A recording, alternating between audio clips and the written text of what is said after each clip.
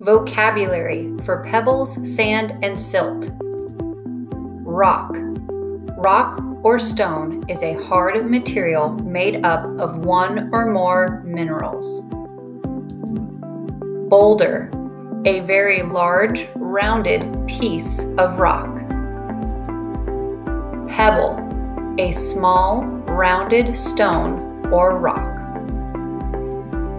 Sand. Tiny, loose grains of rock. Gravel, a loose mixture of small rocks and pebbles. Clay, a natural material made up of tiny particles of rock.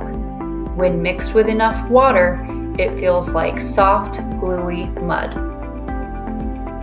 Sediment, the material that settles to the bottom in a liquid. Humus, material made up of rotted animal and plant. Erosion, wearing away of rocks by water, ice, or wind. Property, a feature that something is known by, such as color, size, or weight.